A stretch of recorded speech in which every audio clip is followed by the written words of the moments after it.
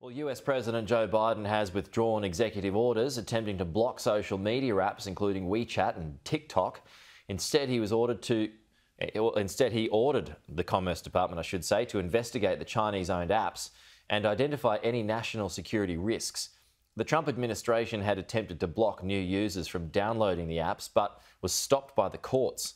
A White House official says a separate national security review of TikTok remains active and ongoing over concerns about data risks.